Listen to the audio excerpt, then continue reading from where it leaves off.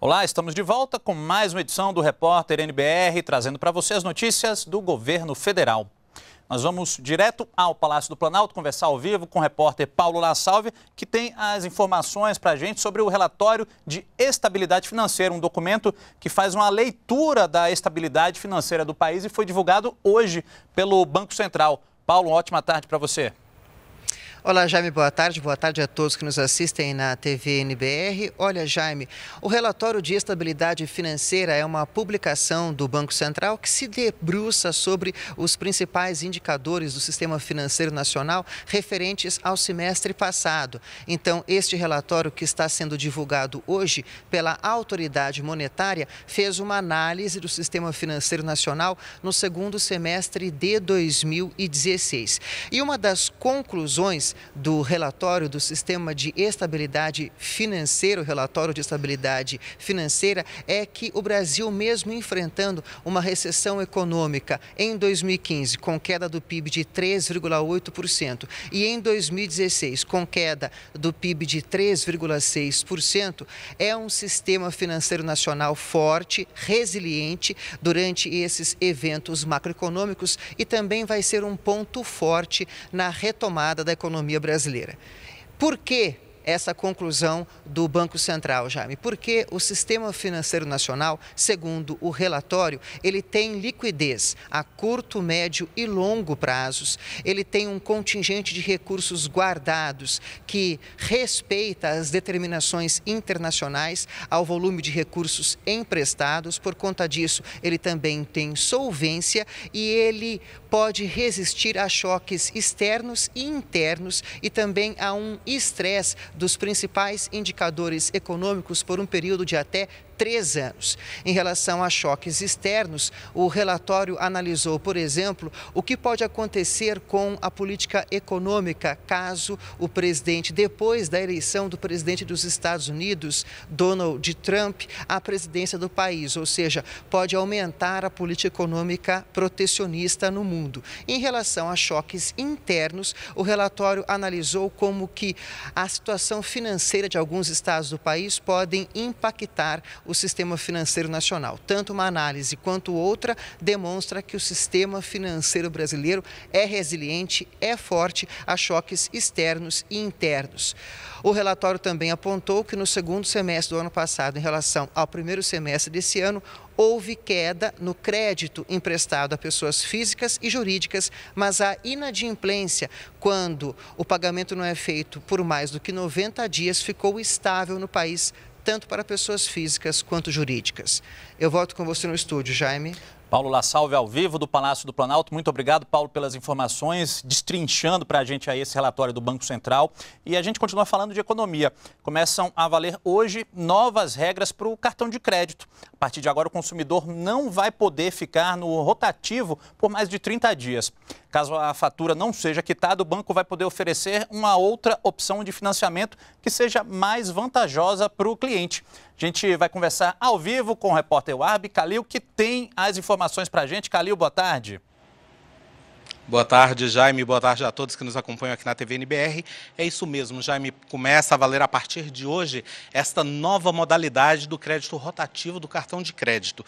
Só para as pessoas entenderem, é, até ontem, o que valia no cartão de crédito era quando você recebia sua fatura, você tinha duas opções apenas de pagamento. Ou pagava o valor total ou pagava o mínimo. E este mínimo muitas vezes se tornava uma bola de neve e as pessoas não conseguiam pagar esta dívida. O governo, pensando nisso, mudou as regras e começam a valer a partir de hoje. E para que as pessoas que têm o cartão de crédito ou as pessoas que pensam em fazer o cartão de crédito possam avaliar bem a situação, nós estamos aqui com o professor Lucas Esmeraldo, ele que é da Universidade IESB aqui de Brasília, e vai falar para a gente é, é, as vantagens e desvantagens do crédito rotativo. Boa tarde, professor. Começando a pergunta, quais as vantagens desta nova modalidade do crédito rotativo? Boa tarde, Calil. Boa tarde a todos. É, quando a gente fala de crédito rotativo, a gente entra em uma modalidade de crédito que passa a ser emergencial. O governo, pensando no índice de inadimplência, passa a atuar tentando minimizar esses efeitos. Então, eu tenho uma possível diminuição de taxa de juros, eu tenho um possível acesso a crédito, eu tenho a possibilidade de financiar uma dívida que já acontece, que é o crédito rotativo. E é isso, são essas as vantagens que a gente tem relacionadas ao consumidor. É trabalhar sempre com um percentual menor de taxa de juros, com o intuito é, de regularizar o índice de inadimplência. Professor, hoje a, as pessoas como que elas vão é, poder é, entrar nesta nova modalidade? Como que vai funcionar?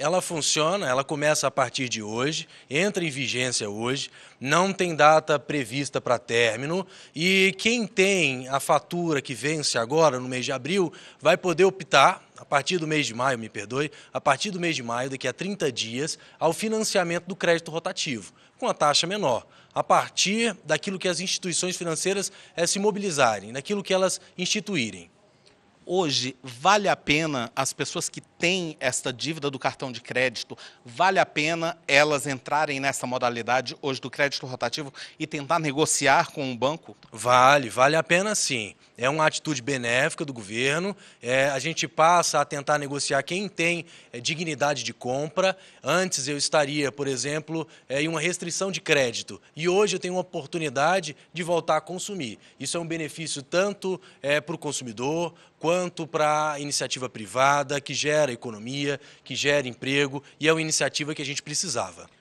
Professor, no caso, por exemplo, o governo também anunciou uma mudança também aí oferecendo novos créditos consignados. No caso, vale a pena entrar no crédito consignado e quitar logo a dívida do cartão de crédito? Qual é a dica que o senhor dá? Vale sim. É, a partir de um planejamento financeiro, é interessante que o consumidor coloque é, em ranking de prioridade as suas dívidas e veja a melhor opção de é, financiamento, de crédito, seja para estar é, tá dentro do crédito rotativo, ou seja para em busca de um empréstimo pessoal, ou para tentar trabalhar com um empréstimo consignado. Obrigado, professor. É isso aí. Você pode mandar sua pergunta no próximo link. Daqui a uma hora nós estaremos também com o professor e ele vai responder algumas perguntas. Então você pode mandar, se você tiver sua dúvida, no pauta ebcservicos@ebc.com.br. E vale a pena você procurar a sua agência bancária e conversar com o seu gerente para ver as taxas de juros que será cobrada por cada banco. É com você, Jaime. Calil, muito obrigado pelas informações. Vou repetir esse e-mail para você que quer participar no nosso próximo boletim, pauta EBC Serviços, sem cedilha, tudo junto, está aí na tela, arroba ebc.com.br.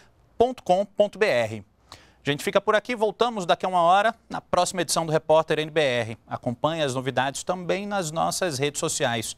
Continue com a gente aqui na NBR, a TV do Governo Federal.